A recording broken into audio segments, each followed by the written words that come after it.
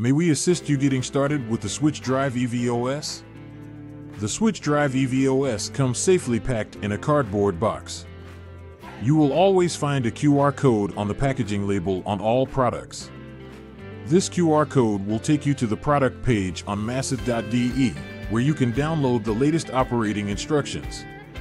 To open the box, it is best to use a small knife. Cut the sticker and open the box. In the scope of delivery, you will find detailed operating instructions in German and English and the EVOS switch drive, which is again packed separately for transport protection. As usual with switch drives, the EVOS also has a slider with guide pin, which is hooked into the actuator rod of the switch. As a factory setting, the slider is free to move, which makes mounting very easy. It is best to push the slider through so that it protrudes as far as possible at the front. Then hook the guide pin into the actuator rod, tilt the switch drive down so that it is parallel to the switch. Then push the fastening lugs of the switch drive under the sleepers provided for this purpose and fasten the drive. Now follows the electrical connection of the EVOS to the track. The easiest way to do this is with the popular Massoth rail clamps directly at the rail joint of the switch. The rail clamps always come with matching soldering lugs, making the connection very simple. The polarity of the connection is irrelevant. As factory default, the EVOS listens to switch address 1. Here, we first switch to the right.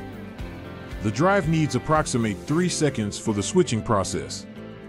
Afterwards, the EVOS accepts the next command and here now switches to the left. We will now change the address of the EVOS via POM directly on the track. To do so, open the main menu with key M3, select decoder programming with M1. By repeating the key M1, select the function POM switch decoder.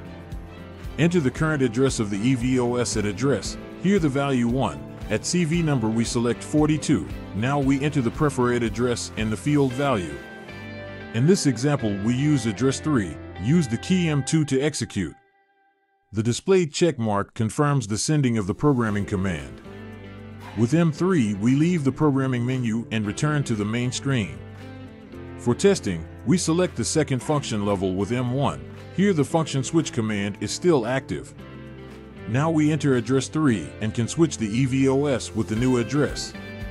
We recommend addressing up to 252. Address ranges such as 253 to 256 may not be addressable correctly depending on the implemented DCC standard. The higher addresses up to 2046 are stored in CV41 and CV42. You can find more information about this in the manual or on the product page on the Massoth website. After finishing the programming, please always activate the programming lock in CV15.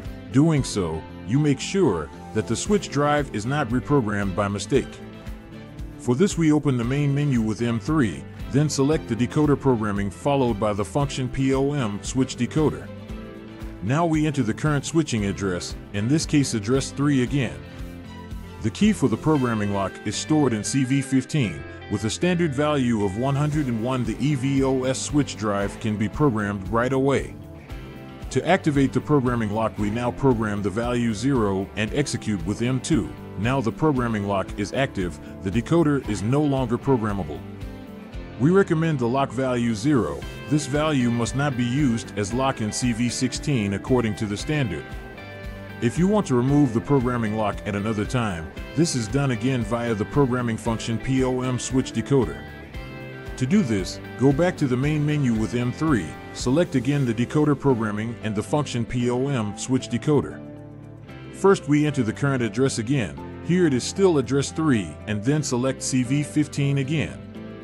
This time we program the value 101, this is the default value of the programming lock of the EVOS. After programming is done, CV15 shows the same value as CV16. Now the EVOS can be programmed freely again. Thank you for watching Massoth TV. Please visit our website at massoth.de for more information anytime.